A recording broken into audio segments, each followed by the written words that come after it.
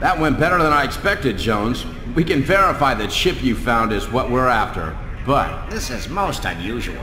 The chip you came back with is an electromagnetic pulse chip. Not the prototype. It's not even a copy, but an improved version. God knows how many more of these things are out there. Luckily, those research logs you found have given us a new lead. A convoy with a consignment of chips is heading for a military base near the Ukrainian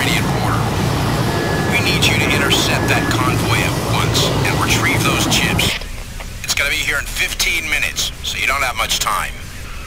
Quest will pilot a chopper and get you to the ambush point. It's a bridge near the base. First, you'll need to infiltrate the installation to acquire explosive and fuses. Find